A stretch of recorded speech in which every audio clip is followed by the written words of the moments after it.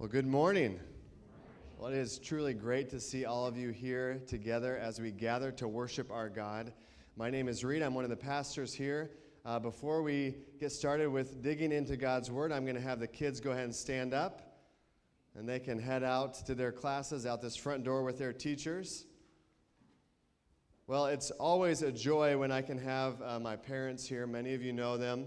Uh, they're, they're visiting, uh, not to see me, I know that, to, see uh, my children. Uh, but they have their spring break uh, this week, and so the, my parents got to come out and visit us. And I wasn't planning on making my dad preach uh, because I thought I'd give him a break. It's vacation. Um, but I, I, got hit with some sickness. I don't know what it was. Uh, and so I called him, and it's great to have a dad who can last minute be able to step in and fill in. And so I, uh, for your benefit, I know that you always enjoy hearing him speak. Um, there's not a man that's impacted my life more uh, than my dad. And I know that over the years that we have been here and he's come to visit and preached God's word to you and interacted, that you have uh, benefited from uh, his life and ministry uh, as well. And so this morning you get to hear from the original Pastor Olson. Um, and I know that you'll be blessed by it. So I'm going to have him come and bring God's word to us.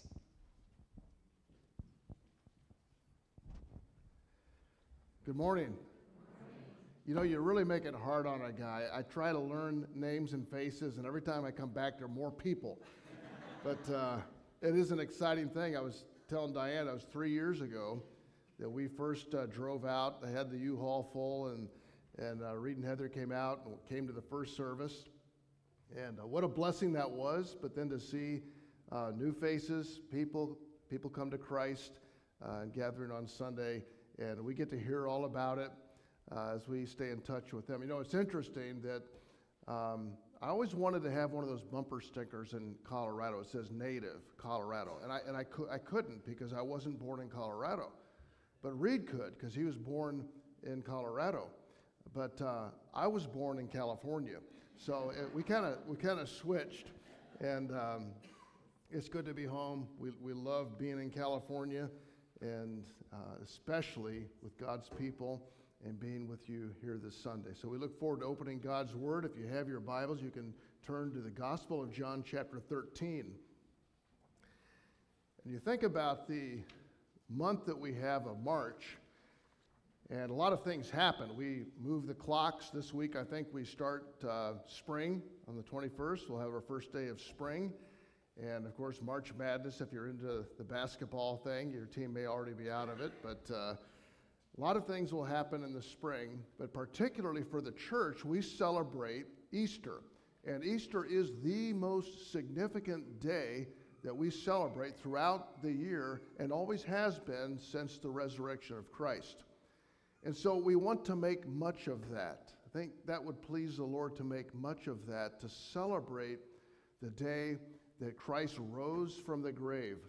And we think about ways we can do that. And it's not that we necessarily have to go do something, but to point to Jesus and what he has accomplished.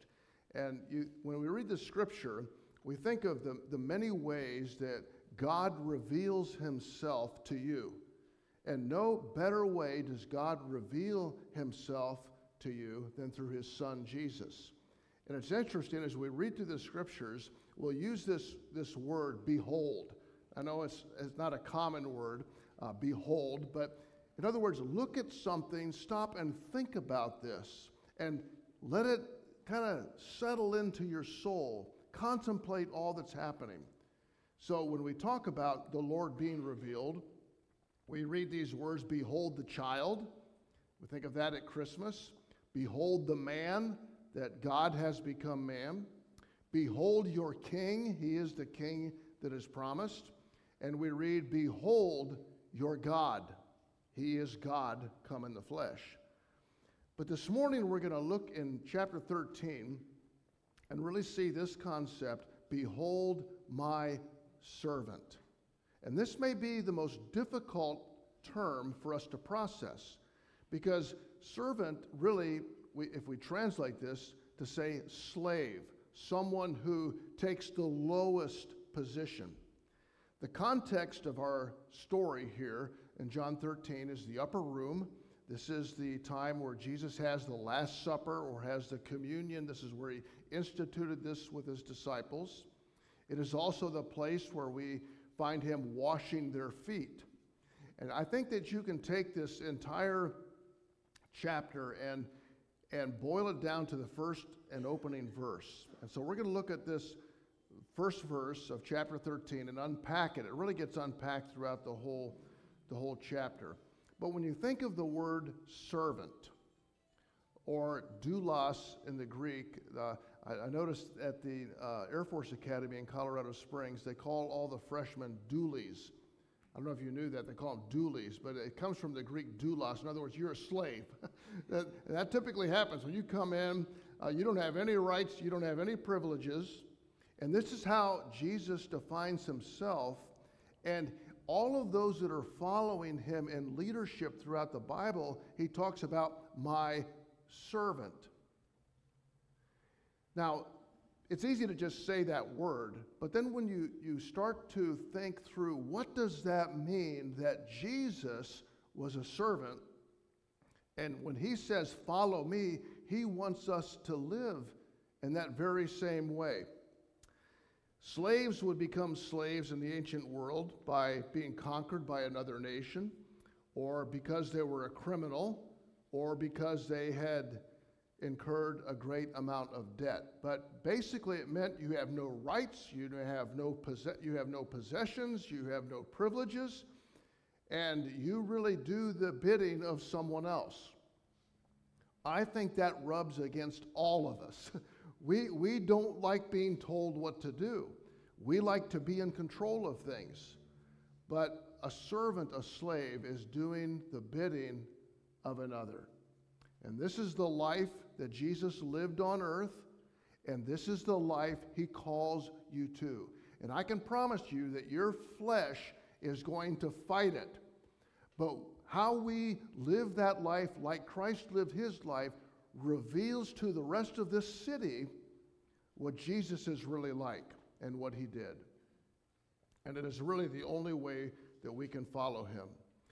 John 13 and on through 17 is what we call the farewell discourse. It begins in the upper room and it continues on as he leaves, goes down through the Kidron Valley to, the, to Gethsemane. And then as he is arrested at, at Gethsemane and taken off into the court with Caiaphas and before Pilate and so forth. But a, a lot of the Gospel of John is given to describing what he says his, his last words, his final words, his, his last communication to his disciples. And it's interesting. Probably if you were there, they'd be nodding their heads and they're not getting it.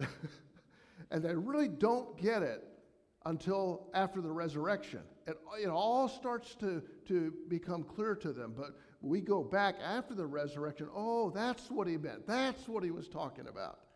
And so it's kind of fun to be able to do that. So, verse 1, let me read verse 1 uh, to us this morning of chapter 13. Before the Passover festival, Jesus knew that his hour had come to depart from this world to the Father.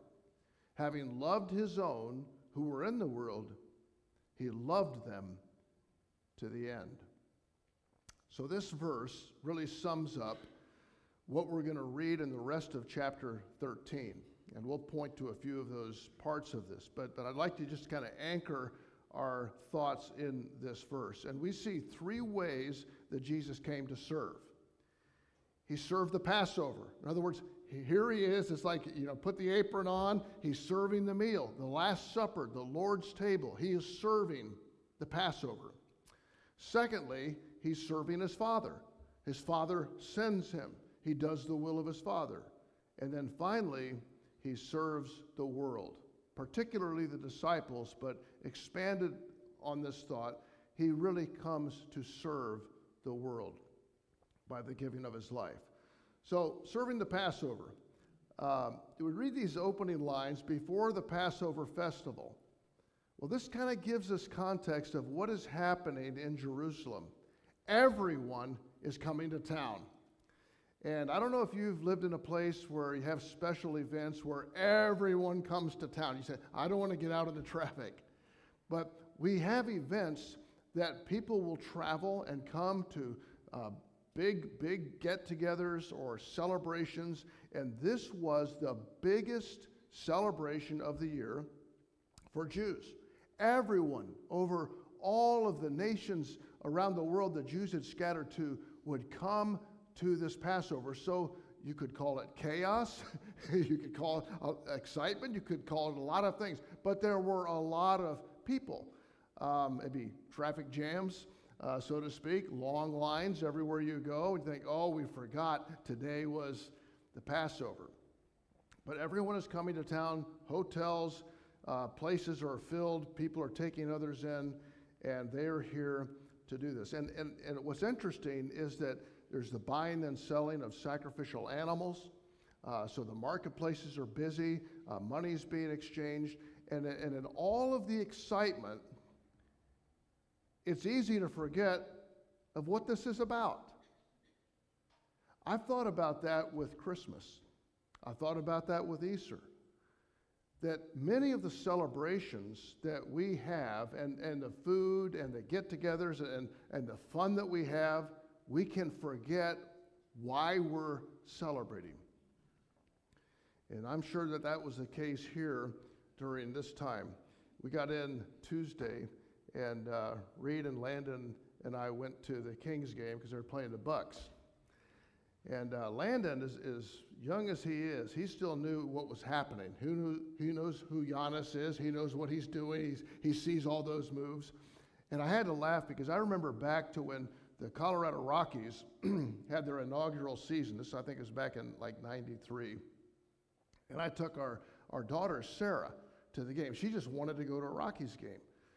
And so we went downtown Denver, went to the game, and she's wanting cotton candy and the red ropes and the, getting another Diet Coke. Or, you know, we're, we're uh, just having fun. Beautiful day. She's laughing, looking at, talking about all the things. And, and we, we got to the car at the end. We stayed through the whole game, walked around, looked at things, and we're driving home. And she said, That was so much fun, Dad. We need to do that again. And then a little pause, and she said, Who won the game? and I thought, you know, that's the difference between girls and boys. Boys would be into the game. But she just got, she, it was the whole experience. But I think as Christians, we can enjoy all the experience of it and forget the central truth. And we drift to that. We drift, we, we drift into that with the chaos that's taking place. So, the Passover, why is everyone coming to Jerusalem? Well, they've been celebrating this for 1,400 years. Go all the way back to the time of Moses when he is delivering the Hebrew people out of Egypt. And do you remember those stories? Many of you remember those stories.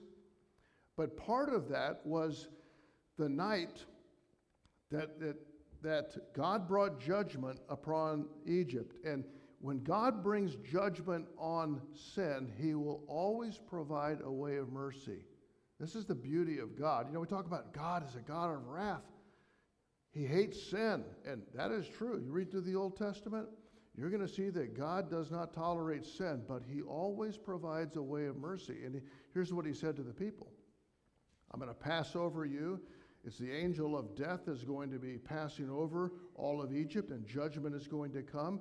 But if you take the blood of a lamb, a spotless, perfect lamb, and take that blood and put it on the top of the door and on the two sides of the door, you see what that's picturing?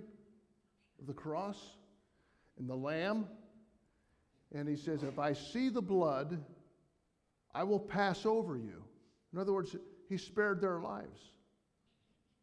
And so that night, in a remembrance of this event, of the atonement of the blood of the Lamb, and also the picture, this provides the picture in the Old Testament of what we're going to see here in the New Testament. He's going to come, the true Messiah.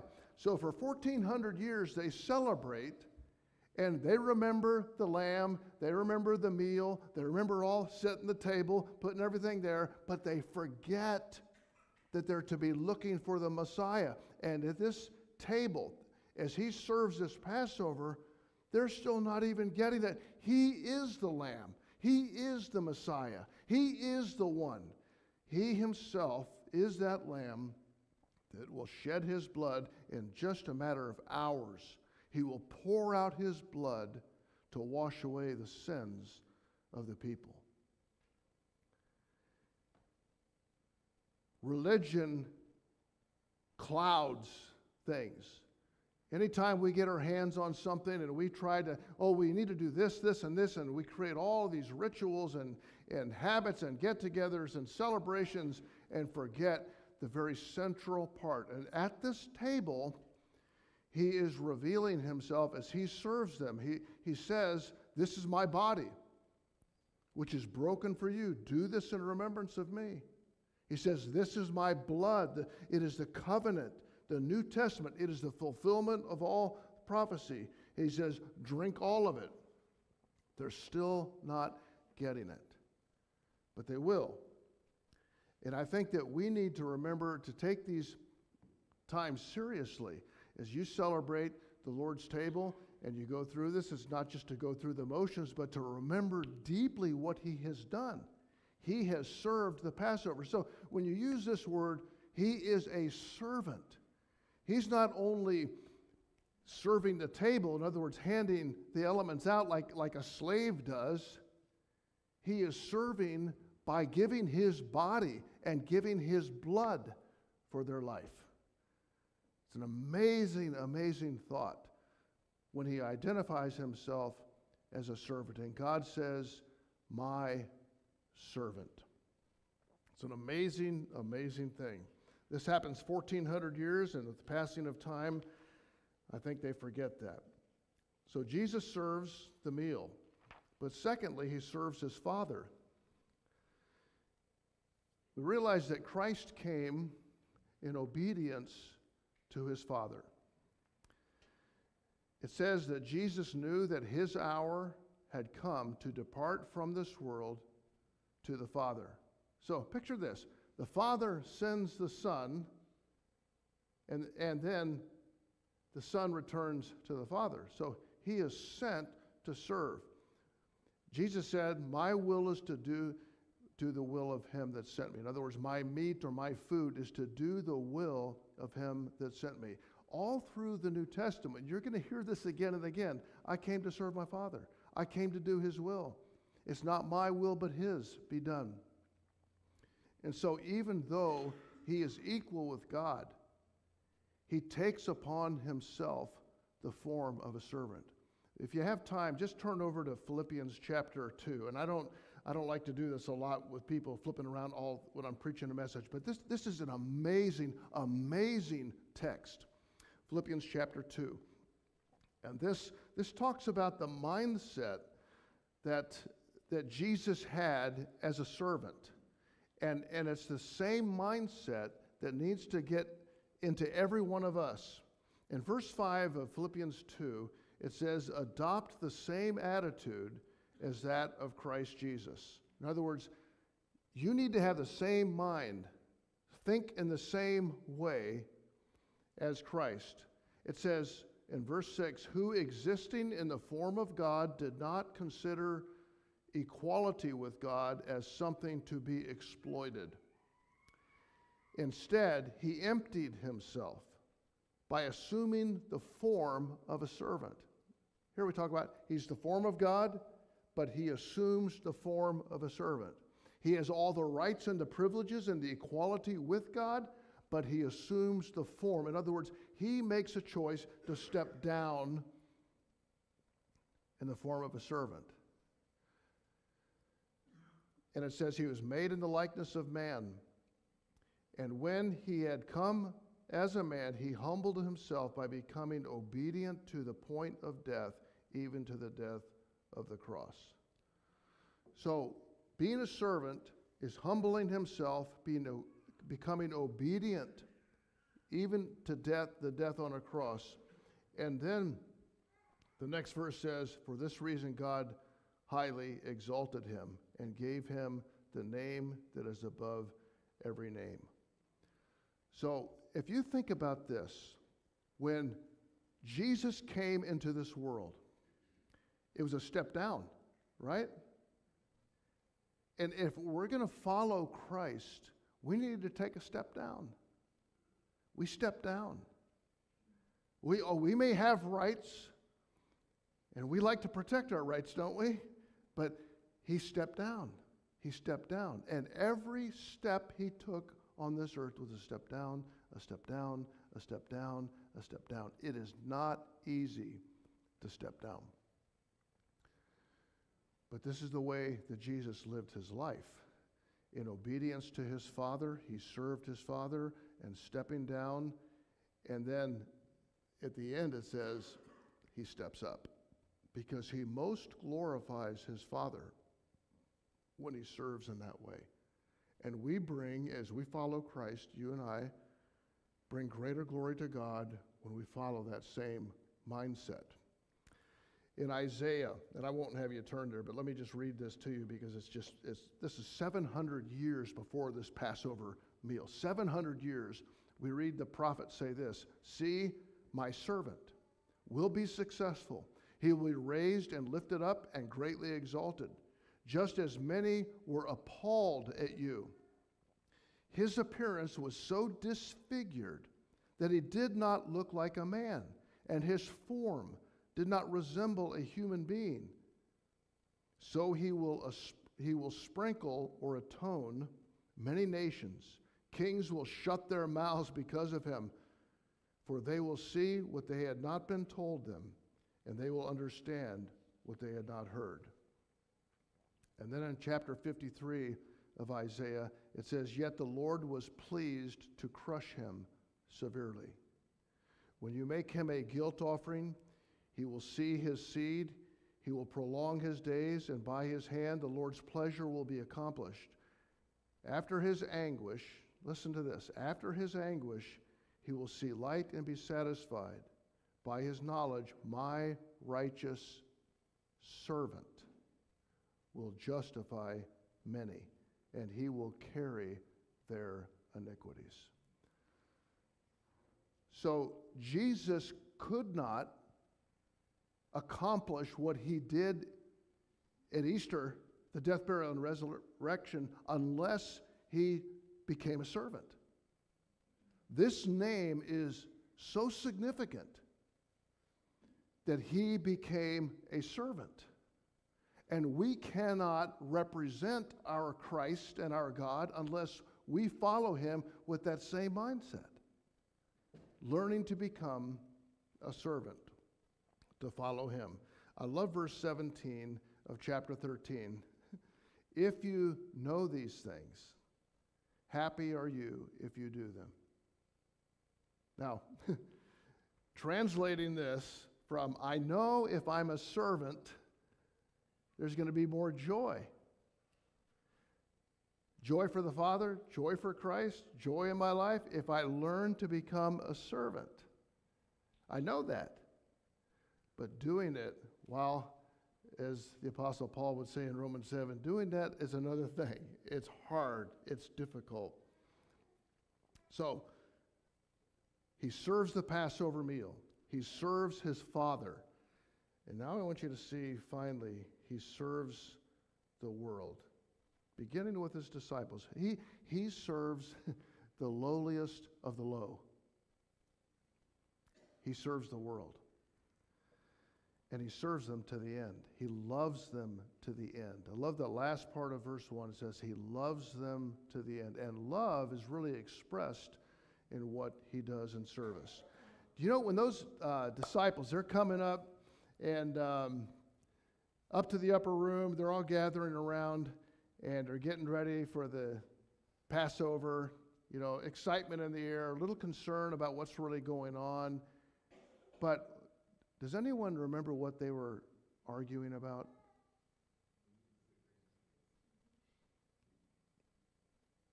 Who's the greatest?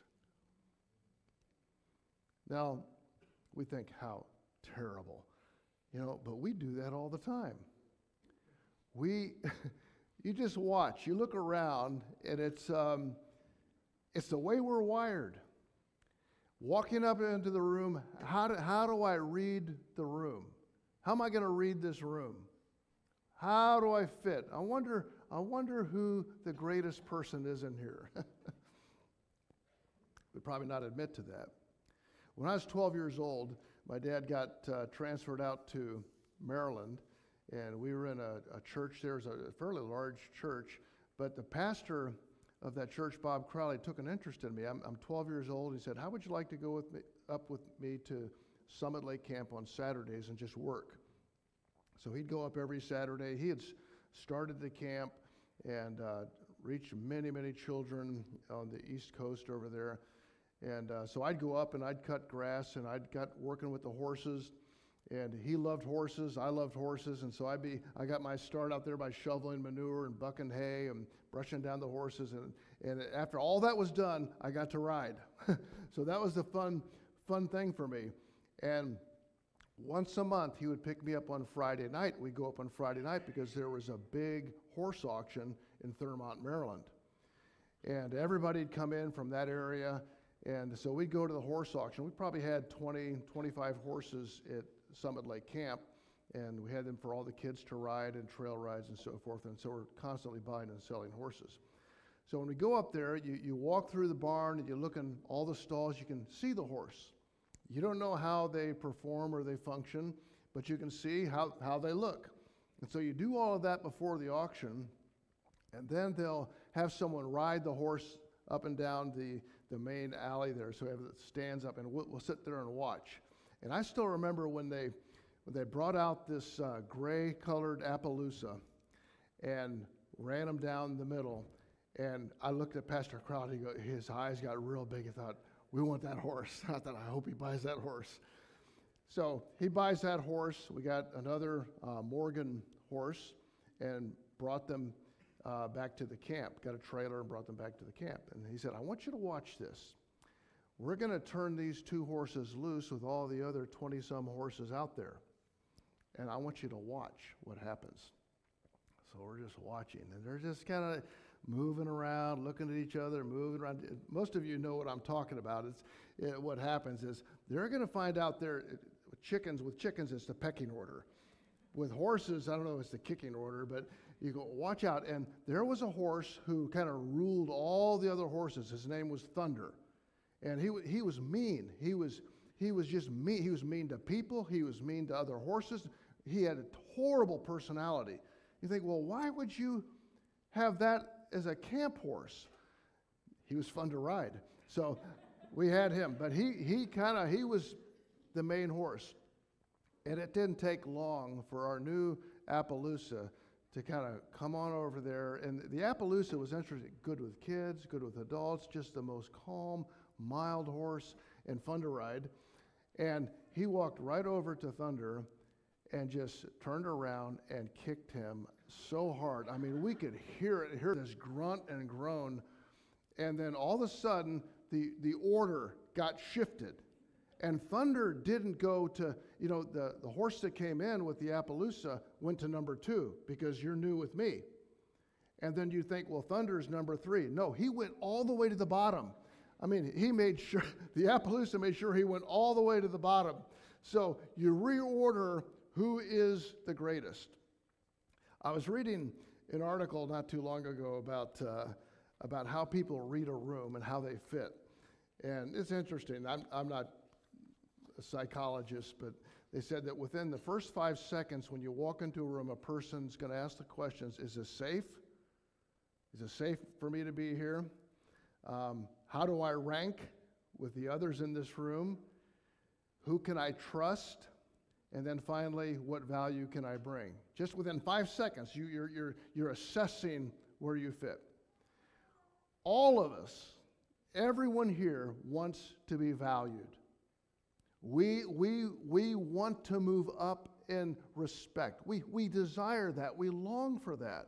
But this passage is calling us for willingly to be stepping down to be stepping down into that and not seeking after a higher rank. So I think that when it says in verse 1 that he loved his own and he loved them to the end, what do you think about that? He loved them to the end. And I think he shows it in two ways. Of course, the first way you think he loved them by dying. Um, he died on the cross. So that's like the, the, he loved them to the end. But I think that it's not just like giving up your life for them, but the endurance of it. And in some ways, it might be easier to die for someone than to live with them.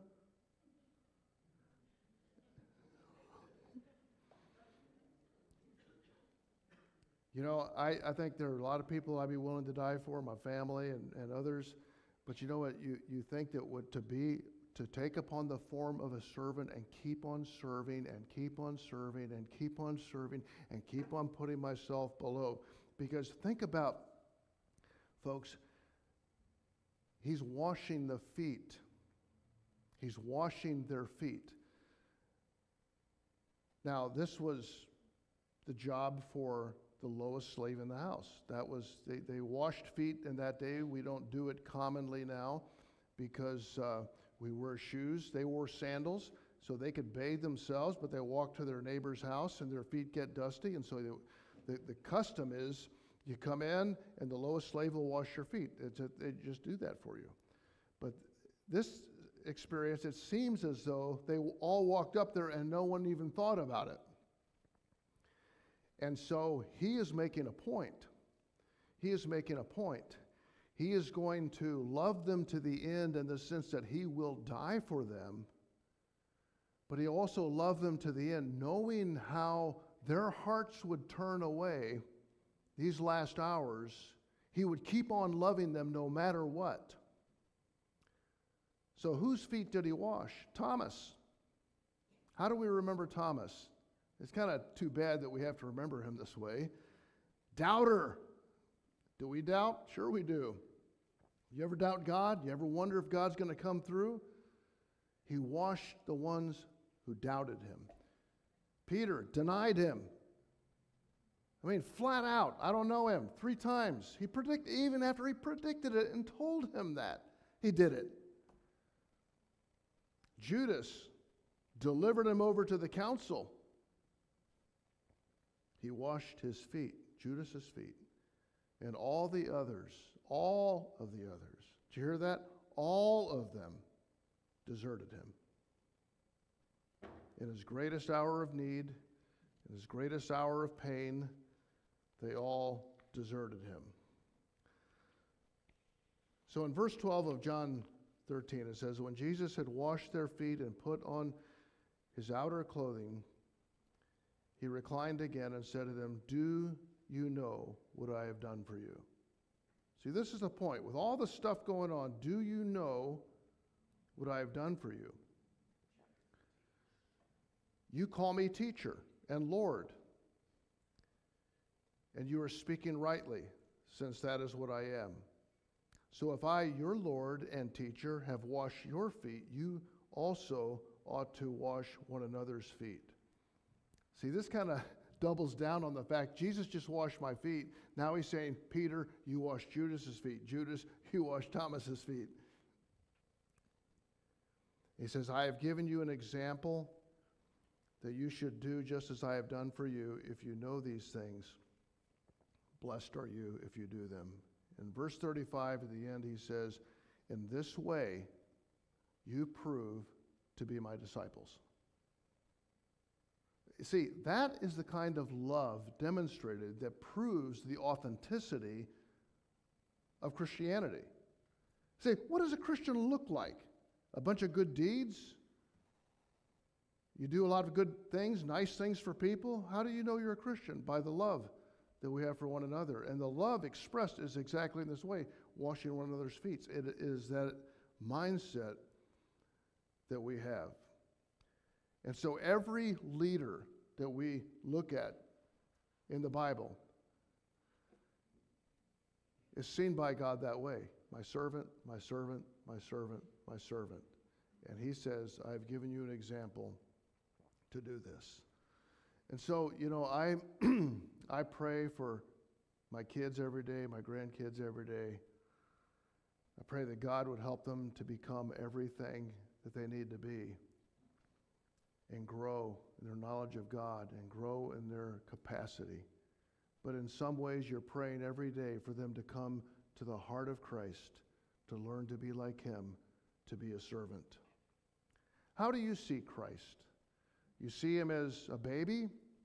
Behold the child. Do you see Him as a man? Do you see Him as God? Do you see Him as the Lamb? This morning, though, I hope we see Him as a servant. Most of my life, I've been a pastor. There was a section uh, for about 11 years that we were in Wisconsin at a college. And one of the things that I remember about that is we, I'd, at the end of the school year, I'd stand up at, in the front, and everybody, parents, families would be there. All the students graduated and would have their robes on, and they would come up the platform, and we'd hand them their diploma. This, this is the certificate that you get for all the work that you've done. But after we did that, we take a towel and drape it over their arm. And on that towel it said, Be great, serve. So the whole concept of this is if you have all this education and all of these degrees and all this head knowledge, but you can't learn to serve, you're not going to succeed in life. If you go into Reed's office, you can see that towel up on his bookshelf. And that is our prayer that we want to grow, but we want to be like Christ. And I hope that this Easter, as we come into this, you can find great joy as you see him serving that table with himself that you see him serving his Father and fulfilling all his Father's heart and desire. And to see him that he has served you. He has served you. He has served you by not just laying down his life to save your soul, he has washed your feet. And he wants you to do the same. That's the Christ we follow. That's the Christ we represent. Let's bow together as we pray.